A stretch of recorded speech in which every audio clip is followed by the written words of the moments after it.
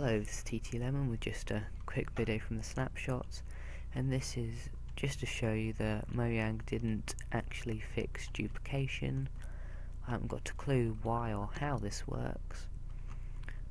Now, I was sort of trying to make something like this and I ended up with this and if you look, rails, fully automatic, there's no need to place rails works with any kind of rails, the activator, the detector, power rails, normal rails.